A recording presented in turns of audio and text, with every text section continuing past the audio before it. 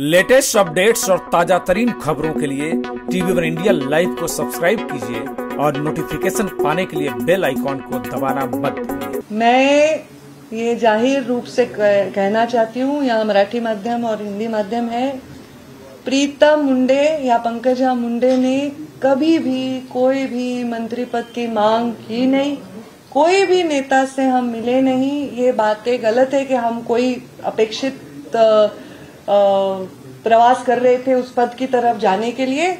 और ये भी बहुत सही मैं बताना चाहूँगी कि प्रीतम मुंडे का नाम चल रहा था। क्योंकि इस महाराष्ट्र में कोई भी पद आने वाला हो तो नेचुरली मुंडे का नाम चलता है। जैसे विधान परिषद और राज्यसभा के लिए मेरा भी चला। तो ये नाम चल रहा था। और जब ये नाम चल रहा था और कुछ नाम अचानक सामने आए वैसे हिना गावित जी का भी नाम चल रहा था। उनके भी पिता मंत्री रहे हैं, वो भी भारतीय जनता पार्टी में इतने सालों पहले आए हैं। उनका भी नाम चल रहा था। तो ये एक प्रीतम मुंडे का नाम चल रहा था और नहीं हुआ, ऐसा नहीं है। बहुत लोगों का नाम चल रहा था और नहीं हुआ, ये है। पर यहाँ लोगों का थोड़ा नेचुरली ज़्यादा प्रेम और प्रभाव होने से रिएक्शन होती है। मैं ये कहना चाहूँगी, हमने कोई मांग नहीं की थी। और हमें पार्टी के निर्णयों से कोई आपत्ति होने का कोई कारण नहीं।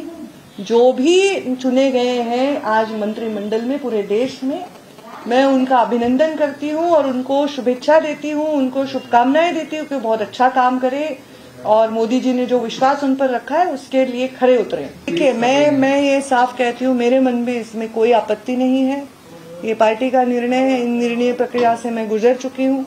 और मुझे इसमें कोई आपत्ति होने का कारण नहीं, पर समर्थकों का एक प्रेशर होता है। जो आदमी मासेस के साथ काम करता है, उसको मास का प्रेशर होता है।